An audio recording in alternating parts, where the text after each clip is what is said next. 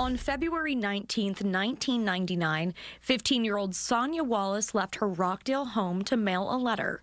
The post office was just four blocks away, and her family didn't expect her to take too long, but she never came home. I asked her mother, Linda Gonzalez, who Sonya was mailing a letter to.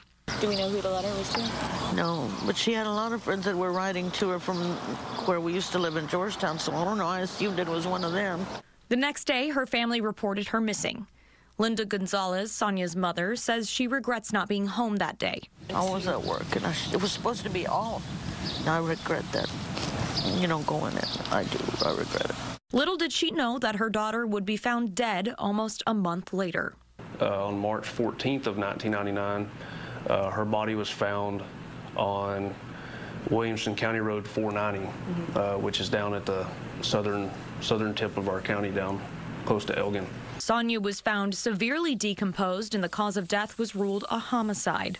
So this is County Road 490. Yes, this is County Road 490. It runs uh, east and west from FM 619. Mm -hmm. Her body was found west of FM 619 on the south side of County Road 490. So over in this. So area. right in this in this little shady area here. Okay. There's a creek that runs through there uh, that's kind of surrounded by trees. The creek itself is, and her her body was just dumped there over the bridge. Detectives believe Sonya's vast group of friends know a thing or two about what happened to her. She hung out with a wide variety of people. Like you said, she uh, was very friendly. Uh, everyone liked her, as far as we can tell.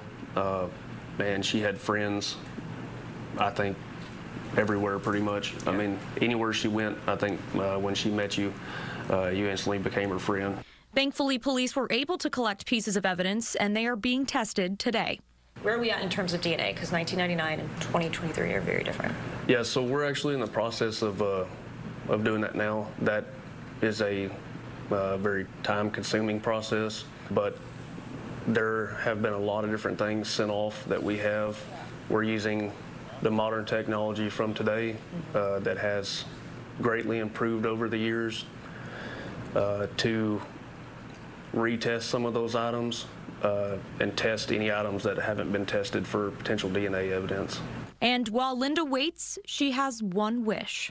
I just want to know why. Why? She was such a good girl. I mean, she was a sweet, sweet person. I want to know before I die.